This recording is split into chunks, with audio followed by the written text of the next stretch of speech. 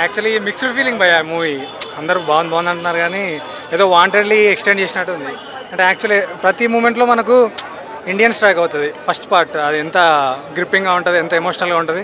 So emotional part is missing ఇందులో కూడా emotional content ఉంది కానీ సిద్ధార్థ్ వాళ్ళ మదర్ది కొద్దిగా ఎమోషనల్ కంటెంట్ ఉంది కానీ అంటే పార్ట్ వన్ అంత గుడ్ అయితే ఈ పా ఈ పార్ట్లో లేదు.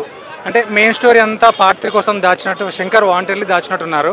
మనకు ఒక గ్లిమ్స్ కూడా చూపిస్తారు అంటే ఎండ్ క్రెడిట్స్లో సో మెయిన్ స్టోరీ మొత్తం పార్ట్ త్రీ పెట్టి ఏదో ఫిల్లర్ సీన్స్ పెట్టి తీసినట్టు అనిపించింది. So totally mixed feeling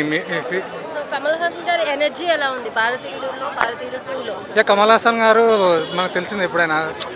Kamal Haasan didn't disappoint actually చాలా బాగా చేశారు. కానీ స్టోరీ లేదు కదా యాక్చువల్లీ కంపెలింగ్ స్టోరీ లేదు. అంటే స్టోరీలో దమ్ము లేదు యాక్చువల్లీ అంటే ఏదో ఉందంటే ఉంది అంతే. అనిరుద్ధ్ బీజిఎం బాగుంది. అంతా సపోర్ట్ క్యాస్ట్ అంతా బాగానే ఉంది.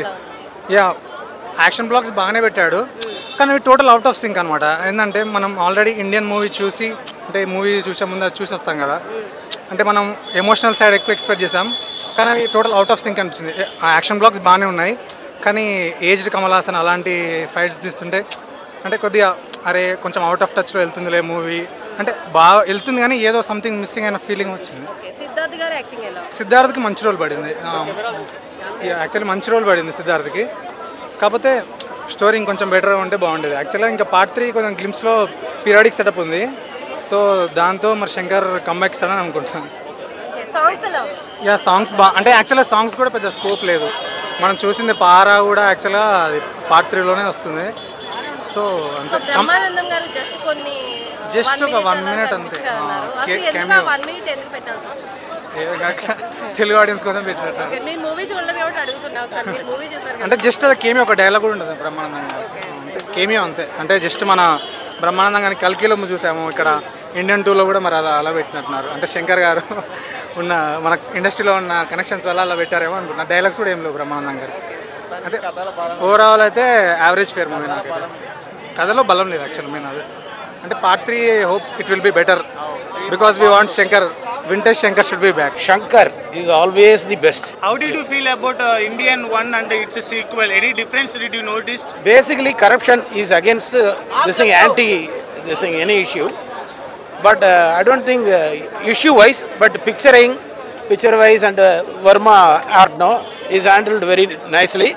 Kamala Hassan, as you know, no excellent. Did And Shankar shown his mark in this movie also? definitely, definitely, definitely. Then he is instigating to see for uh, Indian three also. తీయండి bro సినిమా మీరు తీయండి ఎందుకు utter flop అయింది అస్సలు కాదు. చాలా బాగుంది నిజంగా. ల్యాగ్ ఉందండి. ల్యాగ్ అస్సలు లేదు. సో ఓవరాల్గా ఏం మెసేజ్ ఏముంది? మెసేజ్ బ్రో శంకరే కాదు. ఆ దేవుడు దిగి వచ్చినా కానీ ఇండియాని ఎవడో బాగు చేయడు. అస్సలు బాగు చేయడు ఇండియాని బాగా అవ్వదు కూడా. ప్రపంచం అంతం అయితే తప్పించి ఇండియా బాగా అవ్వదు. సో ఏంటంటే గుడ్ మెసేజ్ అన్నమాట సినిమా. ఎందుకు కనిపించలేదు? ఖచ్చితంగా కనిపించింది. డెఫినెట్గా కనిపించింది. అంటే ఈ ఎఫెక్ట్ ఏమైనా గేమ్ మీద పడే అస్సలు. అవకాశం ఉందా? నా తెలియదు సరే మరి సిద్ధార్థ యాక్టింగ్ ఎట్లా యాజ్ యూజువల్ బాగానే ఉంది. అందరూ బాగానే చేశారు. ఓవరాల్గా రేటింగ్ ఎంత ఇస్తారు సినిమా? టెన్కి టెన్. ఖచ్చితంగా. సూపర్ సినిమా. మార్షల్ ఆర్ట్స్ గురించి బాగా చూపించారు. అవి మర్మ కళ గురించి. అది ఎందుకంటే అంతరించిపోతున్న కళ. మన భారతీయులకి అది మన మన కళ అది. ఇప్పుడు ఏదో మామూలుగా మనం ఈ కంప్యూటరైజ్గా వచ్చేసి ఫైట్లు అవన్నీ చూస్తున్నాం కానీ అన్నీ అన్నీ మిక్స్ అయ్యి ఫారిన్ ఆర్ట్స్ కాదు మనయే. మార్షల్ ఆర్ట్స్ మనది మార్షల్ ఆర్ట్సే టోటల్గా మనది. కరాటే కూడా మనదే. కానీ మన వాళ్ళు బయట తీసుకెళ్ళి వాళ్ళు డెవలప్ చేశారు. మన వాళ్ళలో తగ్గింది.